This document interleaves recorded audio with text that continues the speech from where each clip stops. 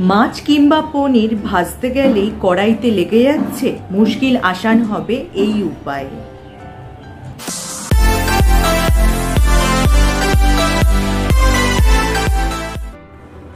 Hello friends, welcome back to my channel. আমার সব বন্ধুরা নিশ্চয়ই ভালো আছো, সুস্থ আছো।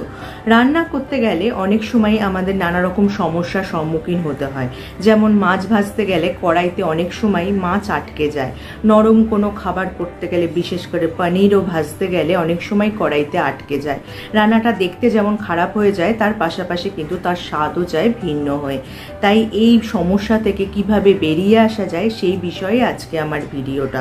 আর রান্নার প্রথমেই দেখবে যদি এরকম ঘটনা ঘটে, আমাদের মেজাজটাও কিন্তু বিগড়ে যায়।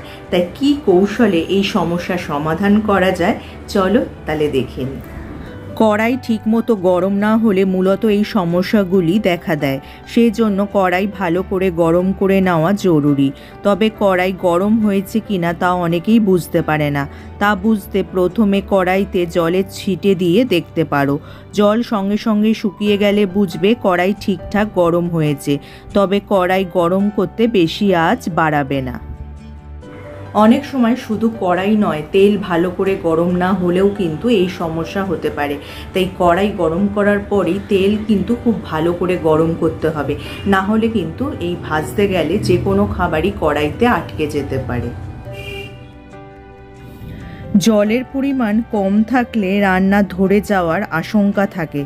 তাই রান্না বসিয়ে চলে না গিয়ে খুন্তি দিয়ে বারবার নাড়তে থাকো। ঢাকা দেবে না, প্রয়োজনে অল্প জল দিয়ে দেবে। তাহলে ভিডিওটা যদি তোমাদের কাজে আসে বা উপকারে আসে লাইক আর শেয়ার করতে একদমই ভুলো না।